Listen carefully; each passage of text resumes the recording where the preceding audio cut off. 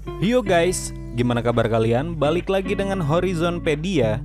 Kali ini kita akan membahas tentang beberapa jenis tanaman karnivora. Tanaman termasuk dalam makhluk hidup karena dapat tumbuh dan berkembang biak. Umumnya tanaman dapat tumbuh atau bertahan hidup dengan memakan sesuatu.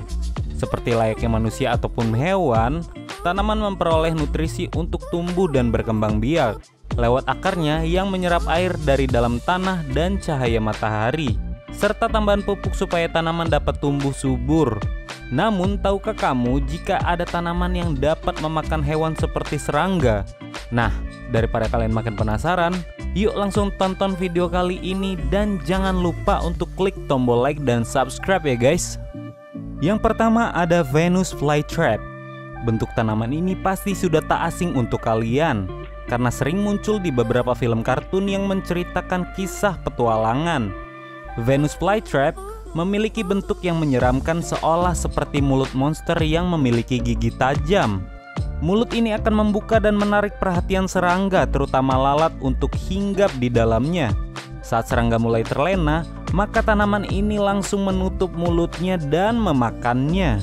Selanjutnya ada pitcher plants. Pitcher plant atau dikenal dengan sebutan kantong semar juga menjadi tanaman pemakan serangga yang dikenal di Indonesia.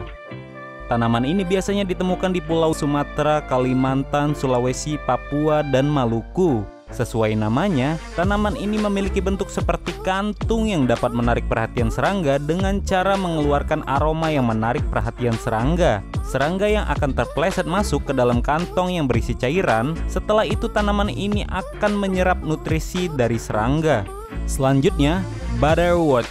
Butterwort sering disebut dengan bulu kupu-kupu. Tanaman yang memiliki bulu-bulu halus pada daunnya yang terlihat cantik ini termasuk ke dalam jenis tanaman karnivora.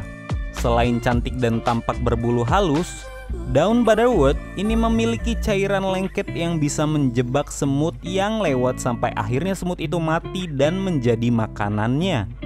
Selanjutnya ada monkey cup. Tanaman yang masih satu keluarga dengan kantong semar ini berasal dari hutan Asia Tenggara, India, Madagaskar, dan Australia yang terkenal dengan nama monkey cup. Seperti layaknya kebiasaan monyet yang minum dari kendi, monkey cup sebenarnya adalah mutasi daun yang telah berevolusi untuk menarik dan kemudian menjebak serangga. Setelah terperangkap, serangga jatuh ke dalam cairan di dasar kantong dan nutrisinya dapat tercerna dan terserap ke dalam tanaman. Dan yang terakhir guys, ada Drosera. Drosera paling cocok ditanam di tempat yang beriklim tropis. Namun ada juga beberapa spesies bunga yang dengan tentakel ini yang ditanam pada suhu dingin. Cahaya matahari dan air bersih adalah syarat utama menumbuhkan Drosera. Bau manis dan tentakel pada bunganya bermanfaat menarik perhatian serangga. Tentakel tersebut kemudian bergerak menangkap serangga yang mendekat untuk dimakan. Nah itu dia guys. Beberapa jenis tanaman karnivora pemakan serangga. Anyway guys Kalian tahu nggak nih tanaman-tanaman di atas? Coba kalian komen di kolom komentar Klik tombol like dan subscribe juga ya guys. Sampai jumpa di video berikutnya